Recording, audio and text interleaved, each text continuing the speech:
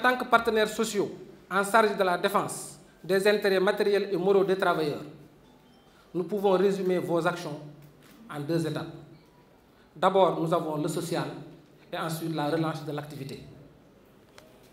Au plan social, nous avons noté avec satisfaction les actions de la Direction générale qui a fait preuve de générosité et de justice sociale en procédant à la revalorisation des salaires en 2014, à l'octroi de logements à des conditions préférentielles aux agents, à la signature d'un nouvel accord d'établissement dans lequel tous les avantages ont été revus à la hausse,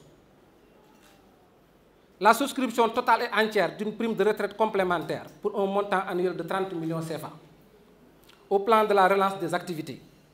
Pendant longtemps, la SICAP faisait du surplace et ne gérait que des anciens lotissements qui peinaient à être clôturés.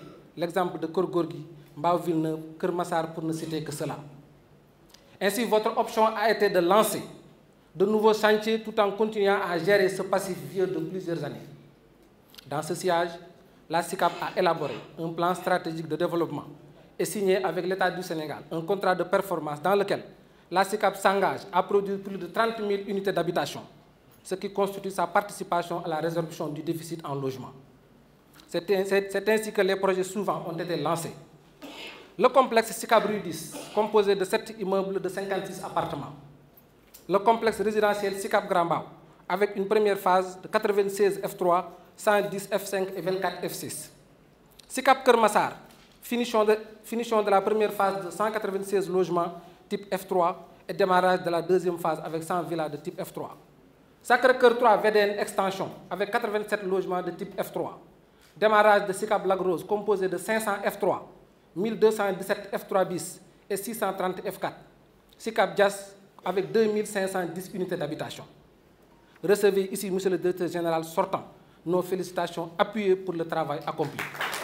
Lorsqu'on veut parler d'un bilan, il y a des indicateurs de gestion. Et parmi ces indicateurs de gestion, je m'en vais personnellement citer le poste investissement à la SICAP, le poste trésorerie à la SICAP, le poste compte d'exploitation à la SICAP, mais surtout le compte production de résultats. En interrogeant le poste investissement en 2012, la SICAP avait un investissement de 7%. Ce jour, la SICAP a atteint un investissement de 31%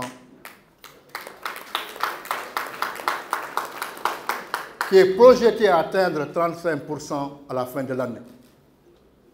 En 2012, le compte d'exploitation était de moins 869 millions de francs CFA. En fin 2018, il est redevenu positif. Monsieur le directeur général sortant, vous avez également permis à SICAP, durant ces sept années, de réaliser près de 3500 unités d'habitation. Si on regarde, si on interroge l'histoire de la SICAP, la période la plus vaste, est celle de 1951 à 1970, où la SICAP a réalisé 8400 unités d'habitation. Monsieur le directeur général, votre succès est d'autant plus éclatant que cela s'est réalisé en 23 ans. Vous avez eu en 7 ans à réaliser près de 4000 unités d'habitation. Le personnel reconnaissant vous dit merci. Voici venu l'heure où tous vos collaborateurs doivent apprendre à se séparer de vous, Monsieur le Directeur Général. Aujourd'hui, vous nous quittez pour un nouveau voyage, celui de votre destin. Dans l'existence, tout a une fin, même le plus beau. Mais la fin n'est pas véritablement une fin. Non, elle est le début d'une autre aventure, un nouveau départ, un recommencement, c'est tout le mal qu'on vous souhaite. C'est sous cet angle positif, cette vision optimiste de l'existence que le personnel de la SICAP vous dit au revoir. Votre carrière professionnelle va certainement se poursuivre comme l'est votre compagnonnage avec le président Macky Sall. La station de directeur général de la SICAP est une station à incarnation variable.